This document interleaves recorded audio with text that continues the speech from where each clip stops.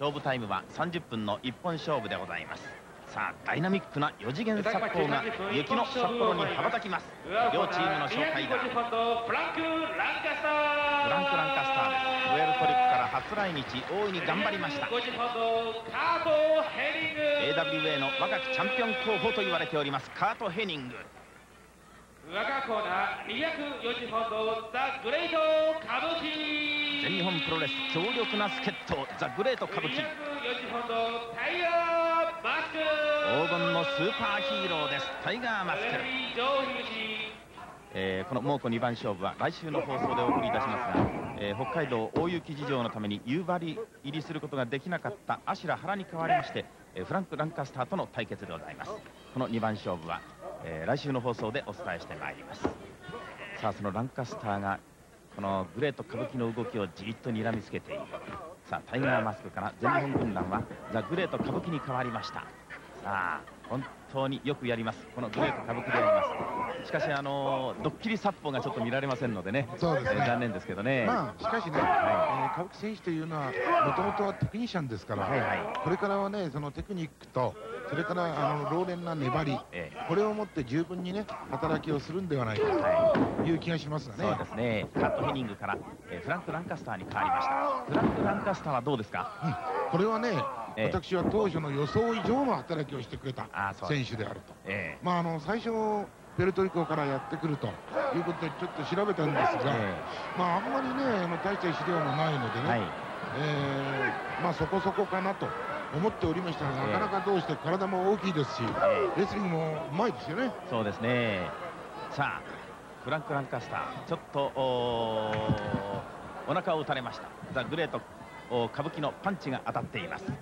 さあちょっと体をくの字にいたしました、えー、フランク・ランカスターでありますまあ、このフランク・ランカスターは果敢にユナイテッドナショナルヘビー級チャンピオン天竜にも挑戦いたしました。しかし完敗。しかしまあ日本では確実に実績作りという点では着々とね作りましたよね。そうですね、えー、まあ、ですからこう日本にね、はい、来て大変にいい経験をして、えー、えー、まあ、プエルトリコに戻ったならば、はい、かなり格が上がるんではないかと思いますね、えー、そうですねダブルのドロップキックザ・グレート歌舞伎をリングの中央で倒しました。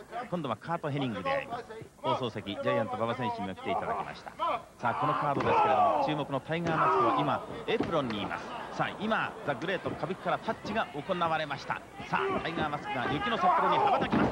ドロップキック豪快なドロップキック熱い胸板をぶち抜きました。さあカートヘニングだ。さあ馬場さん今日はカートヘニングは112キロの選手ですけれども自分よりウエイトの大きい選手を相手にどうレスリングをするかですね。そうですね、えー、豪快なブレンバスターを決めています。そしてカバーの体勢に入りました。さあそのタイガーマスク。馬場さん猛虎3番勝負は次期シリーズ世界チャンピオンリック・フレアが来日するんですけれどもタイガーマスク対リック・フレアというのは実現するんですか？どうなんですか？いやしますね。しますか？そうですかファンの皆様どうぞご注目ください。タイガーマスク対リック・フレア戦実現。これは猛虎3番勝負というふうに見てよろしいんでしょうか、はい、そうですか。これは楽しみですね山田さん、えー、なんといってもね、えー、現役の世界チャンピオン。はい、これは確かに難敵ではあるけれども、えー、それだけにものすごく大きな期待がかかりますね。そうですね。まあ、もうこの7番勝負はこれで1勝1敗ということになりましたが、えー、馬場さんは残りの5戦は全敗でも構わない。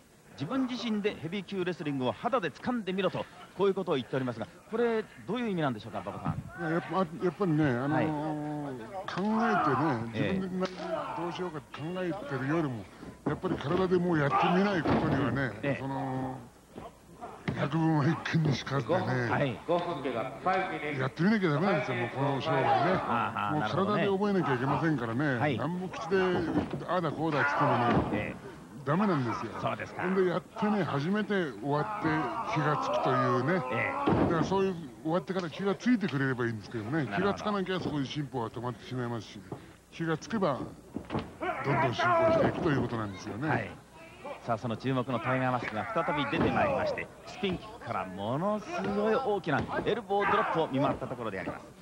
まあ、馬場さんの発言を聞きますと山田さん何かこの大海原にですねポーンと流れ出されたようなそういう感じがするんですがね。しかし大事なことでしょうね。おっと。エプロン。エプロンはタイガーマスク。リングの中央。グレート歌舞伎がバックドロップでフランク・ランカスターを切って取りました。どうもお話の中心はタイガーマスクのやはりベテランのザ・グレート歌舞伎。一気に勝負をつけました。この馬場さんタイミングの使い方ザ・グレート歌舞伎さすがに百戦錬磨ですね。やっぱりねこのヘニングとランカスターと比べたらねどうしても目標、標的はですよね。ランカスターに行ってしまいますね。そうですね。勝負タイムは4分51秒。最後はエビ固めで、えー、タイガーマスクザ・グレート歌舞伎チームがカート・ヘニングフランク・ランカースター組を打ち破りました